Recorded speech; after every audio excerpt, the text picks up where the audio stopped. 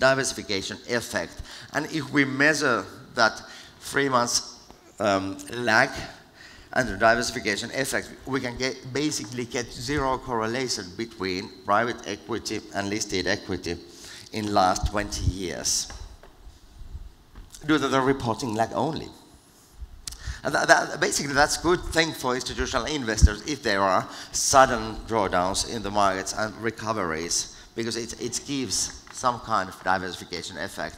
But if there's a wider, longer term recession uh, in the economies and drawdowns in the market, that shouldn't work.